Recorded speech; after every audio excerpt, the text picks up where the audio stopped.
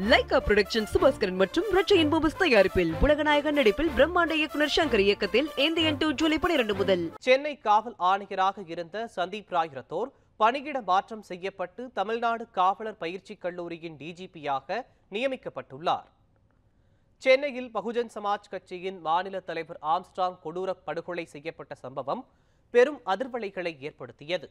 சட்டம் ஒழுங்கு சீர்குலையவே இந்த படுகொலை சம்பவம் காட்டுவதாக எதிர்க்கட்சிகள் கடும் விமர்சனங்களை தெரிவித்தன. இந்த நிலையில் சென்னை காவல் ஆணையராக இருந்த சந்தீப் ராய் ரத்தோர் பணியிட மாற்றம் செய்யப்பட்டு தமிழ்நாடு காவலர் பயிற்சி கல்லூரியின் டிஜிபியாக நியமிக்கப்பட்டுள்ளார். அவருக்கு பதிலாக சென்னையின் புதிய காவல் ஆணையராக சட்டம் ஒழுங்கு ஏடிஜிபி அருணை நியமனம் செய்து தமிழக அரசின் முதன்மை செயலாளர் அமுதா உத்தரவிட்டுள்ளார். சென்னையில் புதிய போலீஸ் கமிஷனராக அருண் நியமிக்கப்பட்டதை தொடர்ந்து அவருக்கு பதிலாக புதிய சட்டம் ஒழுங்கு ஏடிஜிபியாக டேவிட்சன் ஆசிர்வாதம் நியமனம் செய்யப்பட்டுள்ளார். தமிழ்நாடு காவலர் பயிற்சிக் கல்லூரியின் டிஜிபியாக நியமனம் செய்யப்பட்டுள்ள சந்தீப் ராய் ரத்தோருக்கு தமிழ்நாடு போலீஸ் அகாடமியின் இயக்குநராகவும் கூடுதல் பொறுப்பு வழங்கப்பட்டுள்ளது.